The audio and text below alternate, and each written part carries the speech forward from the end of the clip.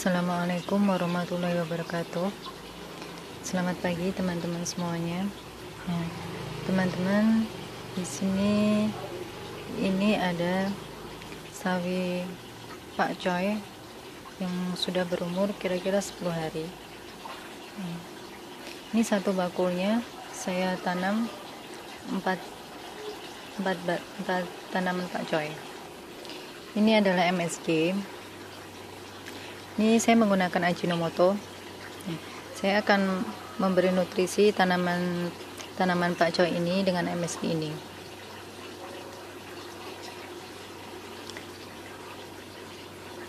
Satu bakul akan saya beri satu sendok MSG ini. Ini kira-kira satu gram. Kita tabur di sekitarnya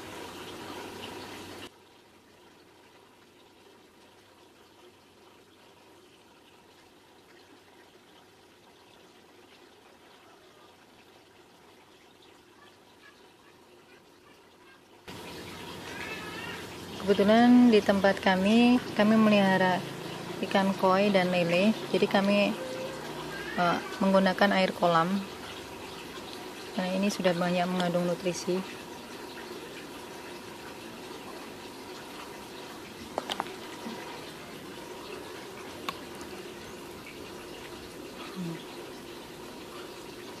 Air ini gunanya untuk mempercepat agar MSG ini cepat larut sampai ke akar tanaman dan terserap oleh tanaman.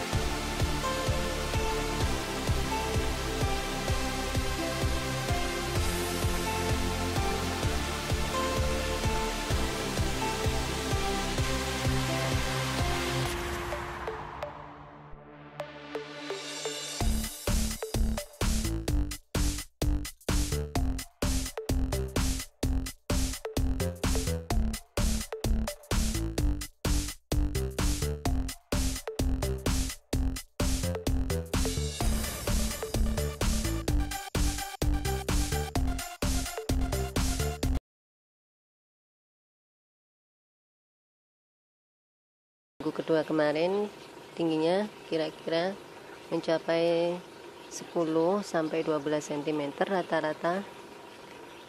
Ini tanaman Pak Coy ini. Nah, sekarang sudah mencapai sekitar 15 cm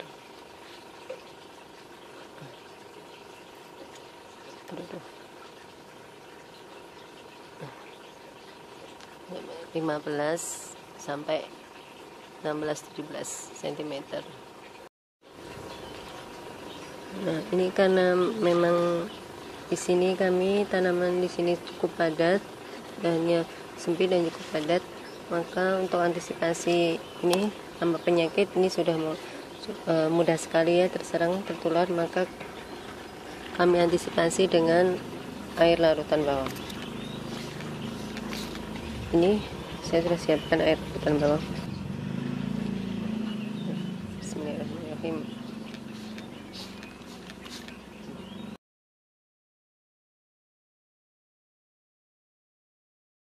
Teman-teman ini sudah cukup umur untuk dipanen. Eh, memang tidak terlalu besar karena ini satu ini satu bakulnya ada empat tanaman. Ada empat tanaman pakcoy seperti ini. Nah ini daunnya sudah kelihatan tampak hijau sekali segar dan kuat. Dan insya Allah eh, ini akan saya panen sekarang. Nah ini sudah cukup umur saya ambil daun bagian luar.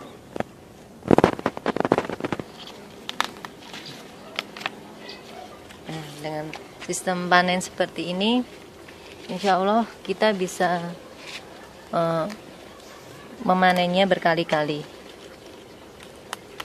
Kalau yang ini, ini satu potnya, satu bakulnya ada lima tanaman ini.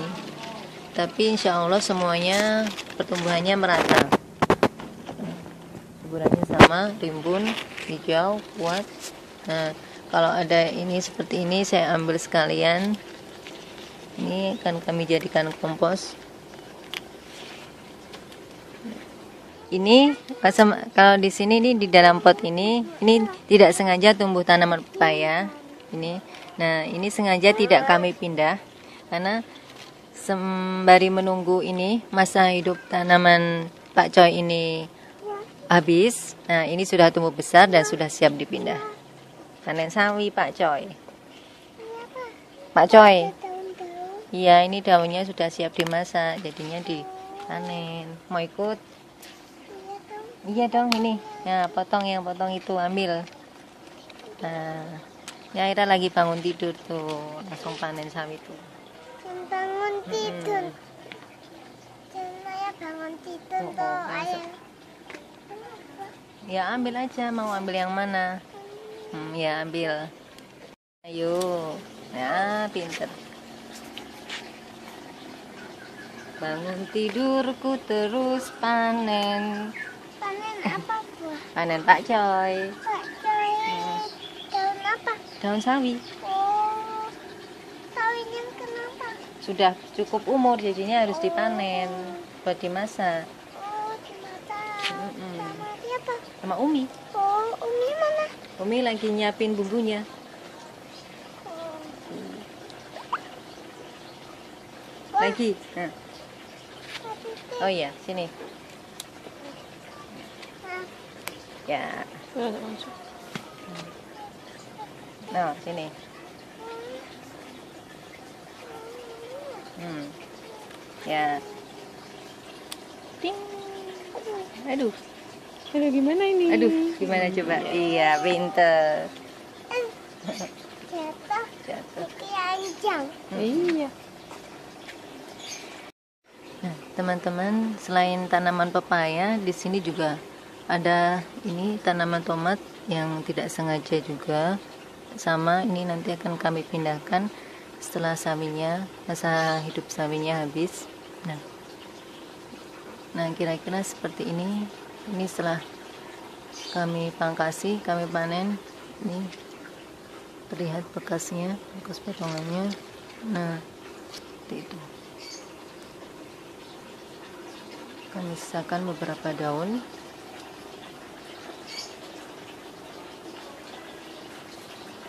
ini nah ini kalau yang di atasnya ini ini adalah tanaman kangkung yang khusus dengan metode celup. Ini khusus nutrisinya adalah pupuk organik cair urin kelinci.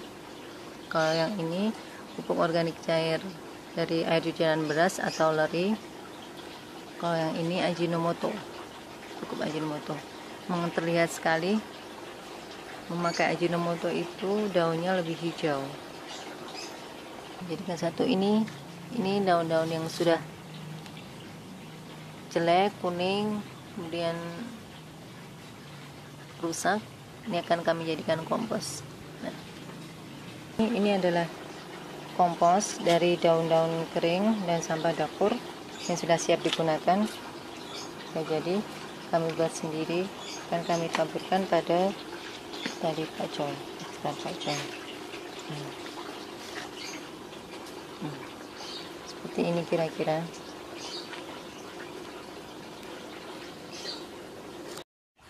Nah sekarang karena ini pagi hari waktunya nyiram sekalian saya siram.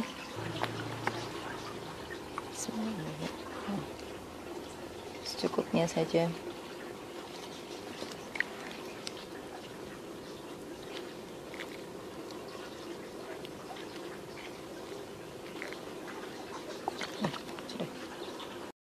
Nah, ini adalah contoh sawi yang tadinya daunnya sudah rusak, kemudian kami rutin memberinya Ajinomoto dan sekarang sudah terlihat perbedaannya.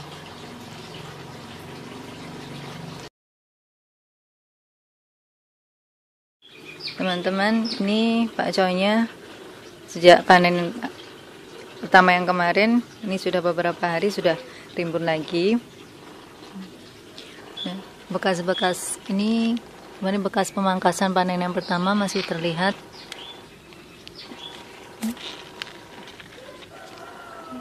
Ya, Insya Allah ini nanti sore akan kami panen lagi yang kedua.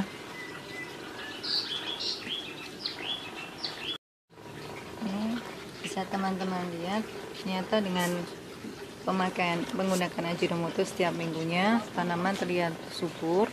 Ini daunnya lebih hijau kuat lebih kuat dan ini terawat ya sehat.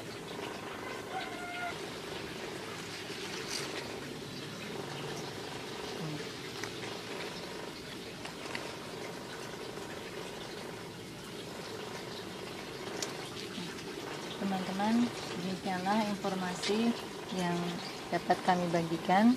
Semoga bermanfaat dan jangan lupa setiap aktivitas kita kita iringi dengan doa kepada Tuhan yang Maha Esa. Sekian dari kami. Wassalamualaikum warahmatullahi wabarakatuh